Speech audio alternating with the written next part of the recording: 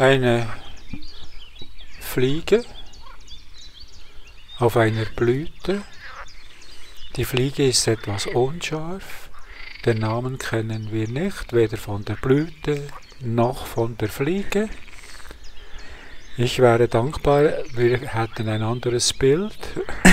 es dauert noch einen Moment. Jetzt wird sie etwas schärfer, aber die Farbkombination war, war hübsch. So. Wunderbar. So, jetzt sind wir bei einem äh, kleinen Rüssler, der war etwa 2-3 mm groß, also nicht viel größer.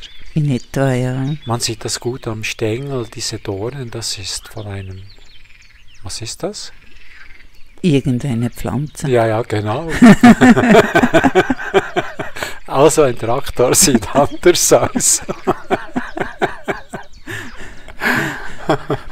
ein kleiner schwarzer Rössler, ja. Du hast sehr viele Informationen darüber. Äh, leider nicht, weil er unbekannt ist. Nach was? Aber er zeigt uns eine schöne Demonstration, wie er das anbohrt. Ja. Einige Rüssler bohren so Löcher, um Eier hineinzulegen und andere fressen einfach nur, oder? Ja, sie saugt den Saft aus. Ja. Oder er.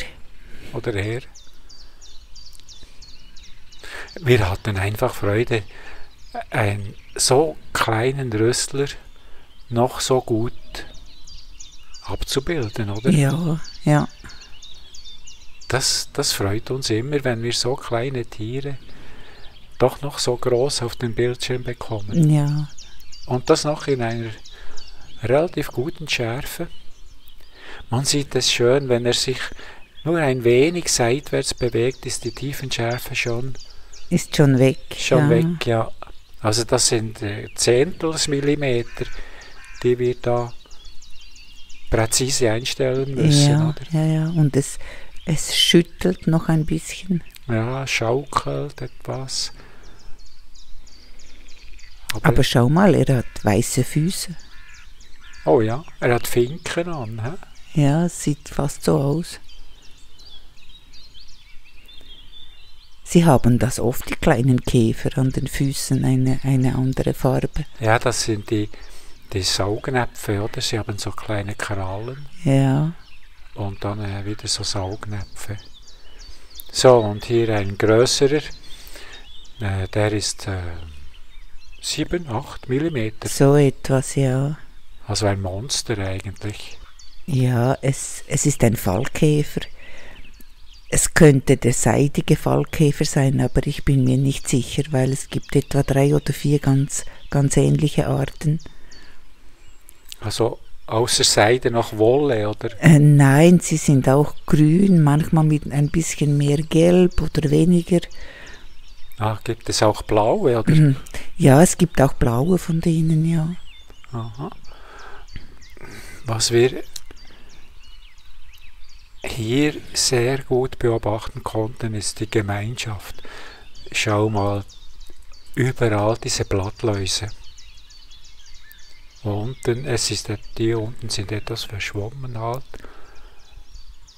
Diese Pflanze ist wirklich voll. Ja. Pardon. Ja, sie ist äh, eine Futterpflanze. Schau, die, diese Blattläuse überall. Und das oben ist noch ein... Äh, ein Rapsglanzkäfer. Ja. Es ist wirklich eine arme Pflanze. Ja. Der grüne Käfer, er frisst die Blätter. Die Blattläuse saugen den Saft ab. ja. Der Fallkäfer würde Pollen, äh, nein, der äh, Rapsglanzkäfer würde auch Blätter und Pollen fressen. Ja, oder? genau.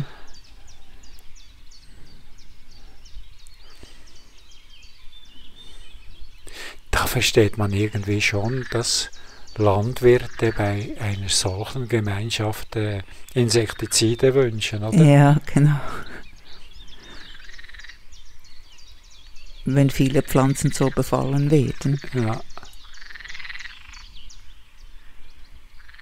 Aber so eine extreme Situation habe ich sonst nie gesehen.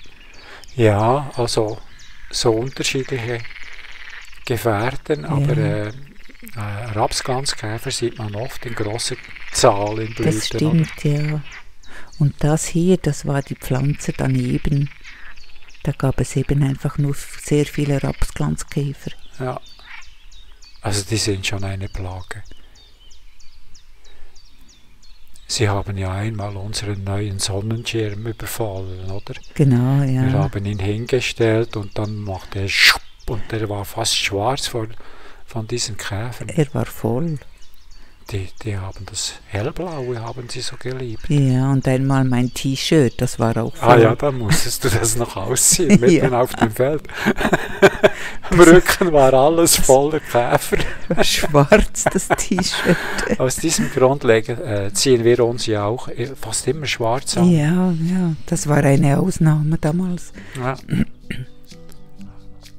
Schwarz ist äh, sowieso gut für die Insekten. Sie fühlen sich da nicht bedroht. Genau. Dunkel ist für sie Geborgenheit. Ja, das ist äh, eine Schnecke. Wir sollten das ganz langsam sagen, aussprechen, uns Ganz Zeit ruhig. lassen, Genau. weil ich habe kein Wissen darüber. Ich auch nicht. Das ist peinlich. Also ich habe in Wikipedia nach Wasserschnecken gesucht und nichts gefunden. Nichts gefunden. Nichts über Wasserschnecken. Über Schnecken schon, über Wasserschnecken nichts. Ich war versucht hinzuschreiben, da ist nichts. Ich habe nur einmal gelesen, dass sie, sie haben Kiemen oder spezielle Lungen. Ja, so allgemeine Beschreibung habe ich auch gelesen. Also äh, sie haben irgendwo im, äh, auf der Haut haben sie oder so am, am äh, Gehäuserand Kiemen. Aber es gibt auch Wasserschnecken, die können direkt über die Haut einen Gasaustausch machen Ah, okay. mit dem Wasser, also den Sauerstoff Ja. direkt aus dem Wasser ziehen. Und hier sieht man sicher seine kleinen, Das sind seine seine Babys. Nachkömmlinge, ja.